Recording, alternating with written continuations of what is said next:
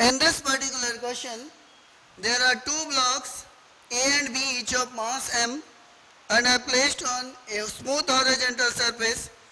Two horizontal forces F and 2F are applied on the two blocks A and B as can be seen. The block A doesn't slide on block B. Then normal reaction acting between the two blocks needs to be found. As a particular, if we consider the whole as a system, as they are not sliding over one another, then let us assume the acceleration of the blocks to be equal to A and this A can be obtained 2m into A is equal to 2f minus f or A is equal to f by 2m. These are the acceleration of each blocks. Now let us assume B is exerting a normal reaction on A and A is exerting a normal reaction on B. Now to solve, get the normal reaction we can solve for either of the blocks.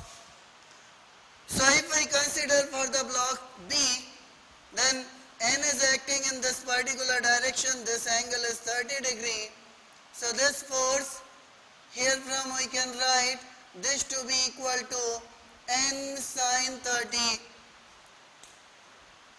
If we consider the free body diagram of block B, then we can write 2F minus N sine 30 to be equal to M into A. So here from 2F minus N sine 30 is equal to M into F by 2M.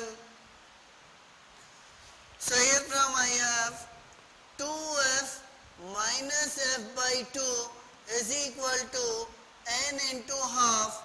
Or here from we have 3F by 2 is equal to N by 2 or normal reaction exerted by one block on the other is equal to 3F. So the magnitude of normal reaction is 3F and correct answer is D.